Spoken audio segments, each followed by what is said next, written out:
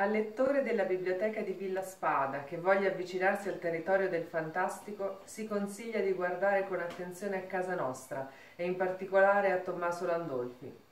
La pietra lunare è certamente uno dei romanzi imperdibili del Novecento.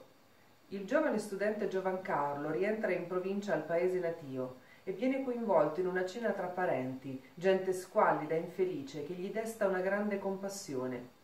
Risvegliato da questi pensieri malinconici, si accorge che l'argomento di conversazione ha lasciato le piccole cose della vita quotidiana per spostarsi su una croce nera e sulla sua immensa ombra che durante una notte di luna calante si è pronunciata sopra un gruppo d'alberi senza lasciare intendere quale ne fosse l'origine. La nuova atmosfera macabra e misteriosa introduce l'arrivo di Guru, una strana ragazza dagli occhi violacei e profondi che prende parte alla riunione di famiglia. Non solo dice di venire dalla montagna pur essendo notte fonda, quando scosta le gonne svela un segreto sconcertante. Ha le gambe di capra. Giovancarlo ne è sconvolto, specialmente perché è l'unico a risultare impressionato dalla visione di una creatura simile. Il giovane studente intellettuale che ha in spregio la provincia sembra conoscere molto poco il mondo, a differenza di quanto credeva. Con questo shock conoscitivo inizia la formazione di Giovancarlo al mondo primigenio e magico della montagna, dove umano, animale e divino sono coinvolti in relazioni profonde. Attraverso un rapporto carnale di attrazione e repulsione per Guru, Giovancarlo accede a una serie di apparizioni fantastiche che modificano per sempre la realtà del suo mondo. L'antico fagogita il moderno, il mistero svela la sua potenza sul logos del protagonista e del lettore, non meno affascinato di Giovancarlo dalle qualità della straordinaria guru, figura antichissima che discende dagli archetipi di Poe e Baudelaire.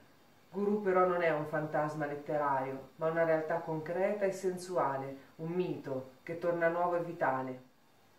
Questo processo di vivificazione dell'antico è certamente il marchio stilistico landolfiano per eccellenza. Lo si vede innanzitutto dalla lingua.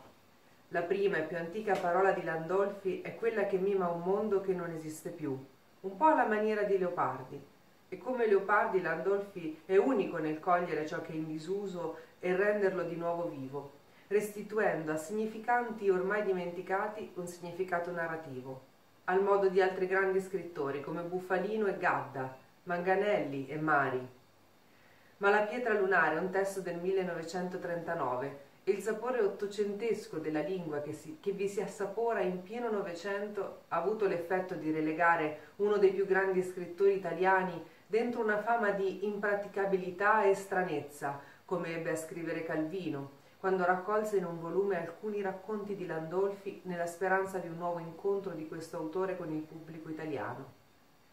Eppure la bellezza del testo sta proprio nella fedeltà che Landolfi ha concesso al proprio istinto.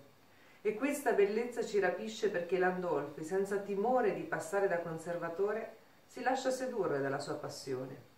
Nel pastiche Giudizio del signor Giacomo Leopardi sulla presente opera, che si trova in appendice al romanzo, è ben spiegato il concetto. Non saper più palpitare per qualcosa che ci sembra inutile è la morte di ogni poesia.